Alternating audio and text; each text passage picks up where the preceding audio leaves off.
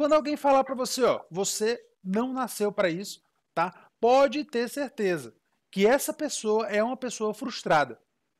Porque se o Cacavo chega para mim e fala, pô, Tiago, eu agora tô fazendo tal coisa, eu tô querendo começar tal projeto aqui, e eu olho para ele e falo, pô, Cacavo, tu não nasceu para isso não. Porra, quem sou eu para dizer o que é que o Cacavo nasceu ou não, né, para fazer na vida? Quem sou eu? Tá? Então, Sim. provavelmente eu estou jogando nele uma carga negativa que eu tenho na minha própria vida. Isso se chama frustração. E principalmente, anotem isso que eu vou falar para vocês. As pessoas querem ver você bem, mas elas nunca querem ver você melhor do que elas. Hum. Então, principalmente se o que você está fazendo, né? Se eu perceber, ó, o Cacau ele está fazendo um negócio aí que vai, ele vai ficar melhor do que eu em tal aspecto. Né? Se eu sou uma pessoa negativa e frustrada, eu vou tentar botar ele para trás. Eu vou tentar puxar ele para baixo. Porque eu não quero ver ele melhor do que eu. Entenderam? Então, nunca aceitem quando alguém falar para você que você nasceu, não nasceu para isso, né? E tem muito da questão familiar também, né, Cacau? Acho que você também é, é, pega muito jovem aí falando sobre isso, né? Que a família não apoia e tal. Muita gente, muita gente mesmo.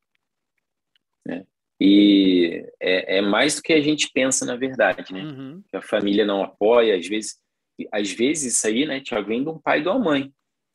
Exato. E, e é é pesado, é pesado mesmo. Mas é a vida, a vida. Às vezes você vai ouvir isso aí de um pai, da mãe, de um, de um parente seu, né, que você ama, alguém muito importante, né?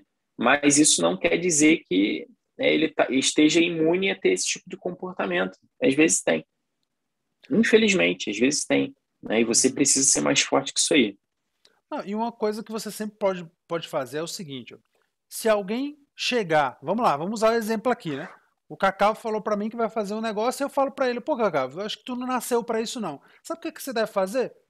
Olha para essa pessoa e fala, por quê? Por que, que você acha isso?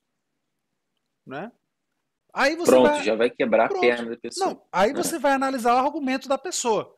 Porque se realmente for uma argumentação válida, você vai levar em consideração. Né? O Cacau pergunta para mim, pô, Tiago, por que, que você acha que eu não sou, que eu não nasci para isso?